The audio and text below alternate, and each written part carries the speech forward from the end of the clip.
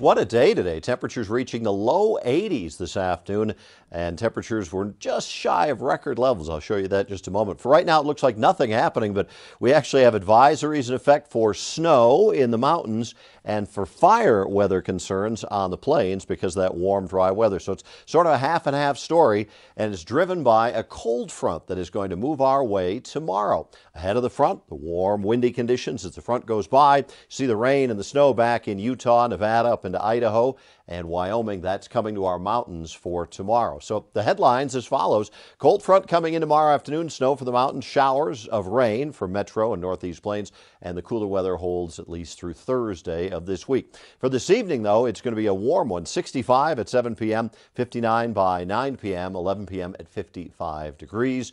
Top temp today was at 82, just two shy of the record set back in 2017.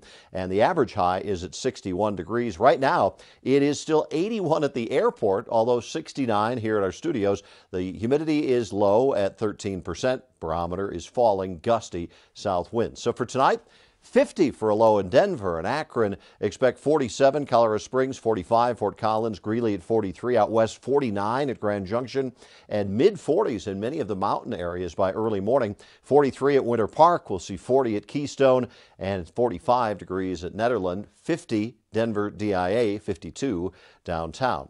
A mild morning, mostly cloudy skies. Here comes the front moving into the metro area around lunchtime. Windy, warm, and dry ahead of it. Rain and snow showers behind it. By late in the day, we get some rain showers in the Denver area. Mountains start to get some snow. And the temperature's quite a range. 86 the high at Lamar. We'll do about 70 for Denver.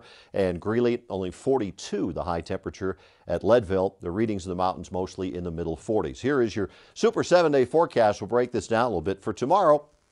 We get some showers developing in the afternoon, but the mountains are gonna get some snow out of this thing. We'll see about four to eight inches of snow west of the Continental Divide from this storm.